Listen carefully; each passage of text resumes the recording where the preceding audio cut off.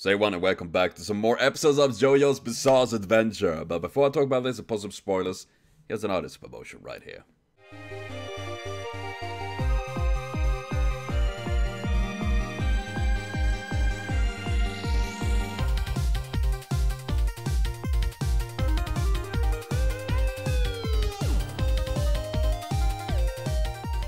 So please be sure to check out Lady Candy for more amazing art links So to DeviantArt, link below. We also find links to this record video of some more episodes of JoJo's Bizarre Adventure. And bizarre it is, because holy crap!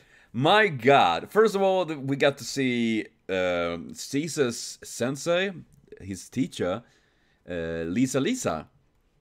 And we're getting to understand about the red super Aja stone and all of that that is really really powerful that uh, the Pillar Man seeks for using in their um, goal of ev evolving to greater life forms and all of that. And doing all of this, uh, Jojo and Caesar go through quite rigorous hellish training and all of that. And I, I, must say I really like it. I mean, it's it is so bonkers. I mean, I just think it's uh, just genuine awesome. I, I, I just love that. And I'm really excited to see what's gonna happen more now because so much things happen. I mean, we we got to see ACDC, and uh, he I just love the names, man. The names are just uh, awesome, seriously. But yes, ACDC fighting um, um, Jojo and all of that, and then he's literally turned into brain that is left, and then taking over uh,